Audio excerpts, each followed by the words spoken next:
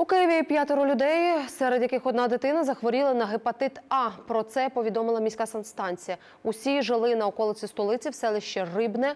Спалах хвороби санітарні лікарі пов'язують із забрудненою водою. Чим це загрожує людям, розкаже Олеся Варламова. Це селище було засновано ще за радянських часів. Воно мало назву «Господарство Рибне». Тут жили люди, які обслуговували свиноферму та бійню. Зараз тут проживає 200 чоловік. Тут немає ні магазинів, ні школи, ні садочка. А зараз немає ще й води. Питну воду до селища підвозять машинами. І постирати, і помити посуду, і туалет, все кругом. Любов показує кран, з якого вже два тижні не тече вода. У жінки двоє дітей. Треба і їсти наварити, і малечу викупати. Для цього воду гріє у відрах. Набираємо із бочки, привозять, на ньому набираємо. Воду наказала відімкнути санепідемслужба, коли п'ятеро людей потрапили в лікарню з жовтухою. Надходила ж вода в селище зі свердловини, які більше 40 років. Самого вірусу гепатиту А у воді не знайшли, але збудники інших хвороб там є.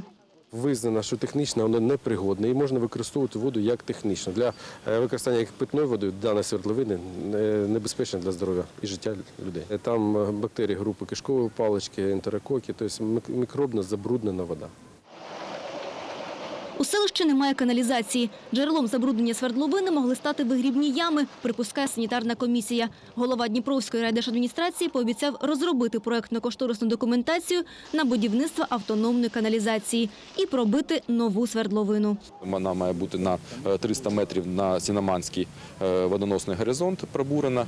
Е, І це, скажімо так, унеможливить потрапляння до цієї води будь-яких е, хвороб. Ми розраховуємо вкластись е, в 2 мільйона гривень. Пробурити нову свердловину зможуть не раніше, як за три місяці. А поки що комісія вирішила перевірити, чи варто використовувати іншу. Вона за 100 метрів від селища на бойні. Лабораторні аналізи взяли тільки сьогодні. Результати будуть у п'ятницю. Треба бути фахівцем, щоб розуміти, що от те, що тут навколо є, ну воно далеко від якихось там розумних санітарних норм. СЕС припускає, що носіями хвороб могли бути працівники бойні, адже там працює половина селища. І рекомендує жителям Рибного пройти обстеження на гепатит А. У Дніпровській РДА винуватять попередників. Два роки тому воно було на балансі в іншому районі столиці – Деснянському. Олеся Варламова, Юрій Анісімов. Новини на Першому.